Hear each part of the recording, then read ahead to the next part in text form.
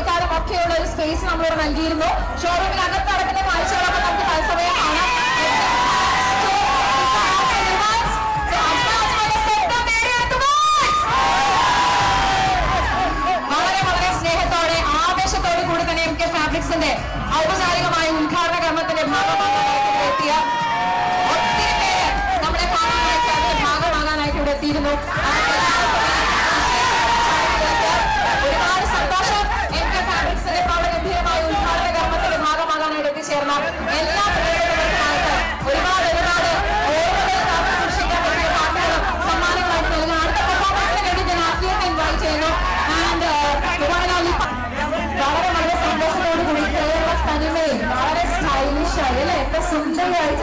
ഓർമ്മകൾ നമ്മളെല്ലാവരും കാണാനായിട്ട് എത്തിയത് എം കെ ഫാബ്രിക്സിന്റെ ഉദ്ഘാടന കർമ്മം നാടൻ മുറിച്ചുകൊണ്ട് നിർവഹിക്കുകയാണ്. ഇന്ത്യൻ സിനിമയുടെ ഒരുപാട്